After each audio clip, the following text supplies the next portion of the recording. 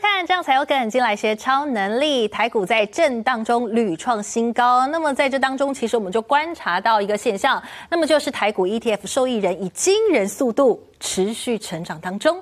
好，我们来看这张表，是根据台股 ETF 及保护股权分散的最新统计显示。好，到了去年底呢，其实是六百零七万人，到了今年五月已经达到了八百三十万人。今年以来已经增加了二十两百二十三万人。这代表什么意思呢？等于台湾两千三百万的人口当中，每三个人就有一个人投资台股的。ETF，那么投资二十一档的高息 ETF 哦，其实占比超过了百分之七十三。投资人最爱投资的前五大 ETF 有哪些呢？好，你看看呢，这个画面清一色都是高息的 ETF，其中两档呢更是增加千亿元以上。好，分别是呢新上市的这个零零九四零，还有零零九一九。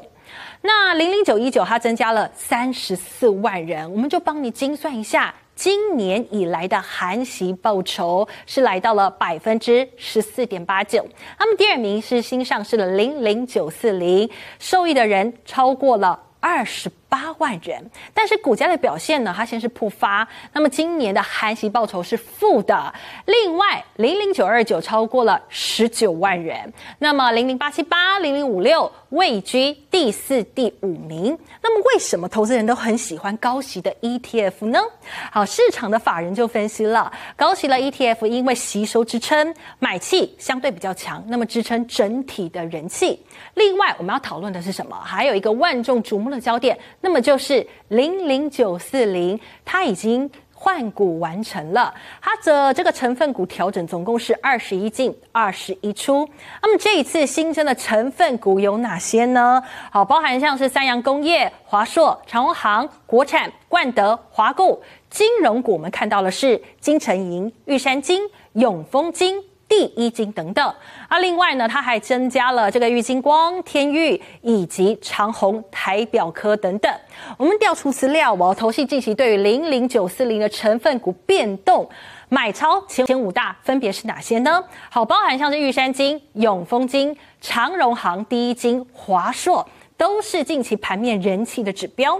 那么这期间的买超连续超过了五千张以上。那删除了成分股又有哪些呢？好，包含像是统一啦、中碳啦、光阳科啦、光宝科啊、嘉士达啦，还有汉唐、可成、南茂、宝成、巨大等二十一档股票。好，你不要小看这样哦，其实这也牵动的资金大约是千亿的规模。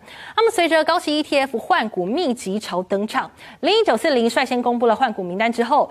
之后还有多档的高息 ETF 要接力换股，那么后续投信的买超力道也值得我们关注。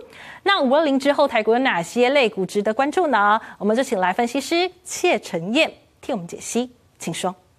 五二零之前哦，大家特别关注，当然包含军工啦，或者是像政策类的重电啊等等哦。